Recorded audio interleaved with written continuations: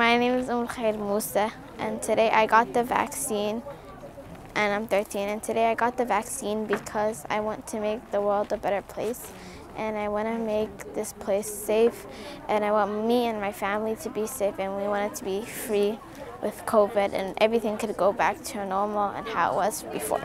Please take your vaccine so everyone could be healthy.